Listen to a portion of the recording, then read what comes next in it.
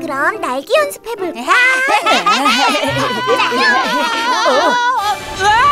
살려줘!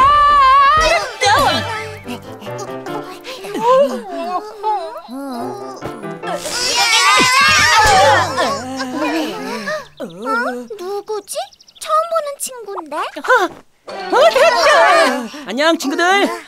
내가 누군지 궁금하다고? 난 말이야. 후! 하늘 다람쥐야. 하늘 다람쥐? 근데 하늘 다람쥐가 뭐야? 다람쥐랑 달라? 당연히 다르지. 나는 하늘을 날 수 있다고. 우와, 대단하다! 오, 그럼 우리한테도 하늘 나는 방법을 가르쳐 줄 수 있어? 하늘 나는 방법?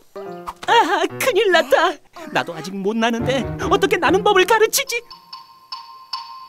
자, 여러분들은 하늘을 날 준비가 되어 있습니까? 쭉쭉이 제조 시작! 쭉쭉쭉 쭉쭉쭉쭉 쭉쭉쭉, 쭉쭉쭉, 쭉쭉, 쭉쭉, 쭉쭉, 쭉쭉! 좋습니다. 여러분, 얼마나 높이 날고 싶습니까? 한 이만큼? 아니, 더 높이 날고 싶어.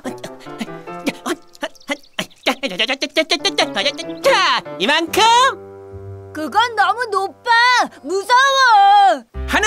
날려면 먼저 이렇게 날개를 펼치고 바람을 느끼며 아래로 슈!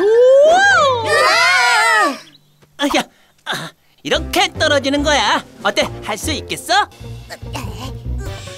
어, 어, 어, 자, 어? 나왔어. 어? 우와. 어, 위험해! 어, 야!